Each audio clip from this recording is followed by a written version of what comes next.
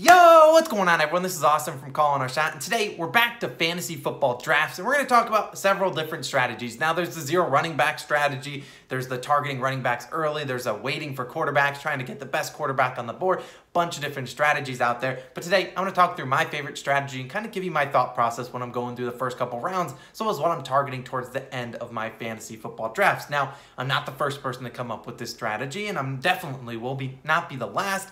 But it is to wait to draft quarterbacks. This is another element of what I'm looking for when I'm doing my fantasy football drafts, and it's waiting to draft a QB. Now, it's not saying Patrick Mahomes is bad. It's not not at all. I think he's probably either QB1 or QB2 this year, depending on you know what type of leagues you play in, if you value rushing more. Regardless, he's going to be very good in fantasy football. But it's the difference in the depth at the QB position, which is why I heed and tell you guys wait to draft a quarterback because there's not there's not a big difference between QB1 versus QB10. That's like a Patrick Mahomes versus Ryan Tannehill. Maybe on the football field, you might think, you know what, Patrick Mahomes is the best guy, but that doesn't necessarily mean that they're the best fantasy football quarterback. You can be a good fantasy football quarterback, but not be very good in real life football. So that's why I'm saying wait to draft a quarterback. Only a couple points difference between QB1 and QB10, whereas there's a big difference between RB1 and RB10. Now, I'd rather attack the areas where there's not as much depth you know, you can pick up a QB towards the later end of the draft, someone I'm comfortable taking like Justin Herberts or Tom Brady or even Jalen Hurts. I'm comfortable taking those guys because they have a lot of upside and I think they'll be very good fantasy football quarterbacks. Now,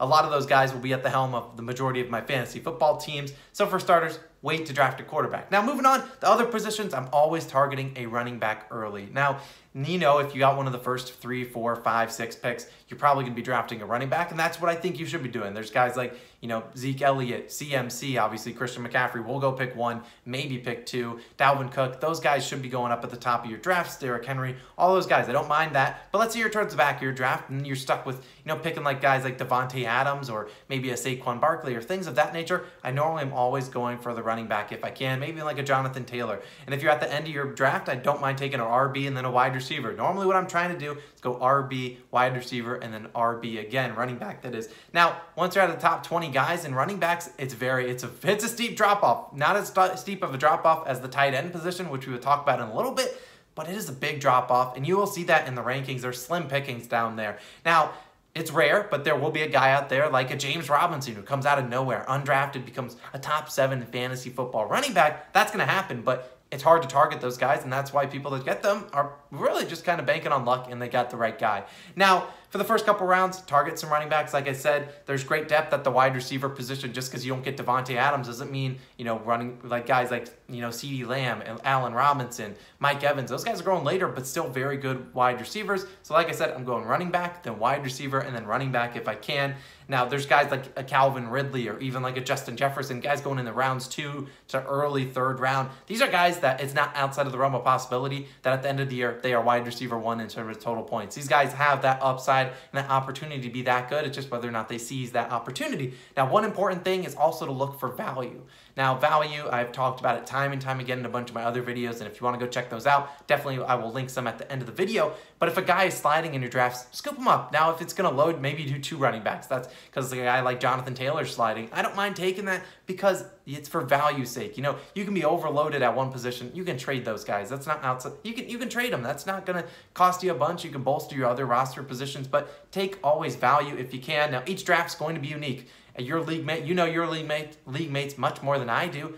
Every person's different. They're going to be wanting to draft their favorite player, and I know you will want to too. So always target value though. Go for the best player available, and worst comes to worst, like you said, you have an embarrassment of riches, and you can just trade one of those guys to one of your league mates. Now, the last position, like we talked about, we'll talk about the tight end position. Now, everyone would love to have Travis Kelce, Darren Waller, maybe even George Kittle. I'd love to have them on every single fantasy football team just because of the how much better they are, or fantasy football wise, than the guys behind them. But that doesn't mean you have to be wasting that up early pick on one of those guys.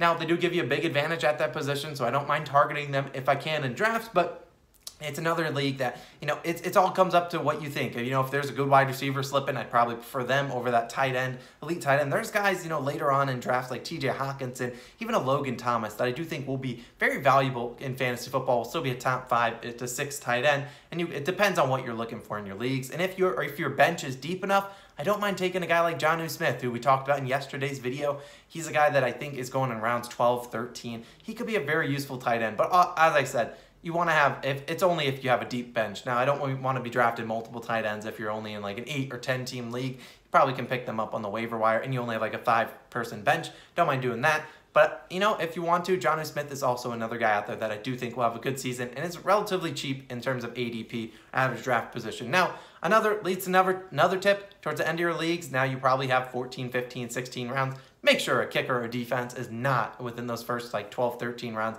Kicker or defense should always be your last couple picks.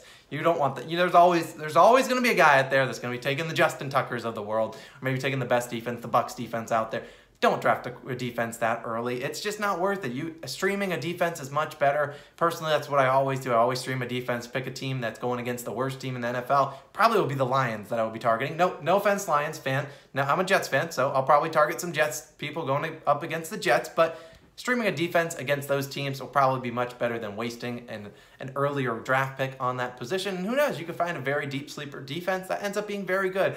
A team like the Patriots will probably have a very good defense. Don't know what their ADP is, but like I said, don't draft a kicker or a defense too early in your drafts. Now, once you have a full starting lineup, which is what you really want to see besides that kicker and defense, because you better be waiting to draft them until the end of the league, I normally am looking for high upside guys or people that are handcuffs for the top running back. So what does that mean? Handcuffs. Now, that means like Ezekiel Elliott, his backup running back, and we know it will be Tony Pollard. So if God forbid something happens to Ezekiel Elliott, maybe you have him as your first pick in your draft. You took Ezekiel Elliott, I'd probably start to try to target Tony Pollard, especially if you're in a deeper league. Try to get Tony Pollard onto your team because something happens to Zeke. Not only will you lose your first round pick, you need to replace him, and a guy like Tony Pollard, perfect replacement because this guy's going to be a top 10, top 15 running back each and every week if Zeke Elliott does miss time, which is exactly what you're looking for. Now, you don't necessarily want a guy that's in a committee already. You don't even know what, what's going on. It's the same thing for a player like Dalvin Cook. There's Alexander Mattison. We know he's going to go in there. While it won't be Dalvin Cook, he definitely won't be as good as him